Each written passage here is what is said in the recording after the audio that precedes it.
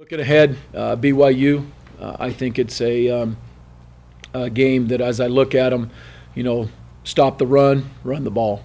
You know, we're going to have to find ways to run the ball on offense. We're going to stop the run, um, stop the QB run game. Um, Taysom is an extremely talented young man. He is, um, I got a lot of respect for him, and uh, he is a very, very good athlete, very good quarterback, and is a tough-minded kid, and and um, has a lot of intangibles you like to coach as a player, and I know that. And um, so he's uh, he's the key of that offense, and he makes it go. Should be a great atmosphere. I'm looking forward to it. You know, 6,500 uh, students, the herd coming out, and the game's been sold out for a few weeks now, and and just the atmosphere and the buzz around Logan is is big time. It's fun. as a this coming week with BYU. Um, it's an exciting week, I think, for for everyone here at Utah State. Everyone gets amped for this game, and I I do too.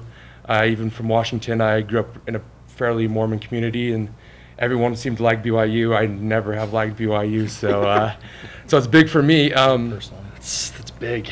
It's really big. Um, you know, kind of have a sour taste in my mouth from last year. Hoping to get rid of that. Um, this is, uh, I mean, this is this is why you play sports. You know, for rivalry games.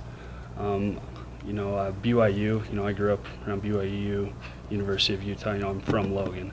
My dad actually went to BYU. I've, I've converted him to an Aggie fan. But uh, you know, I'm I, I bleed I, I bleed Aggie blue, and I want this win more than anyone.